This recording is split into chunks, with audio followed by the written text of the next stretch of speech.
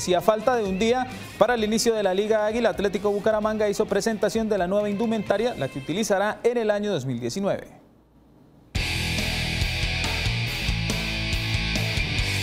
Inspirados en la camiseta del año 1998, la que utilizó el equipo en Copa Libertadores, los diseñadores de New Victory, la marca que vestirá el conjunto leopardo, elaboraron cuidando el más mínimo detalle de la nueva piel del felino que rugirá a partir de mañana en los estadios del país. Vamos obviamente partido a partido, ahora tenemos un partido importante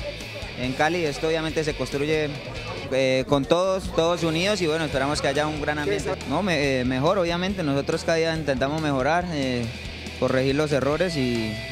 bueno, esperamos hacer un,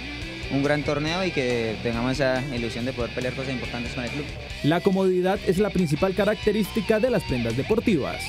Lo que la tenían luciendo, lo, lo que tuvieron la oportunidad de ponérsela, eh, la sienten liviana, cómoda, eh, algo dry fit que mantiene esa,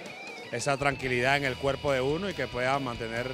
esa destreza también en nuestro, nuestro cuerpo que nos permita realizar muy bien los movimientos. Durante la presentación, jugadores y cuerpo técnico exhibieron los uniformes que lucirán durante la temporada y donde llamó la atención el color negro de la vestimenta que usarán en condición de visitante.